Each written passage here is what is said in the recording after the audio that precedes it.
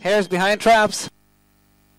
They're off and running, and it's trap five was first to show and leads up from six and second and two and third as they go into the first bend. It's five, six, one, and two as they're in that order. Trap five is the advantage, but it's only three or four lengths over six as they pass halfway now. And trap one is back in third, stretching clear into the third bend. It's trap five now, stretching his rival. Six is second, one is third, and four is fourth. But up front, it's all one-way traffic as Drumcrow Brexit for Graham Holland. Going to continue his winning ways, going to win this very comfortably indeed. One stays on for second and two third. Five one and two for your trio.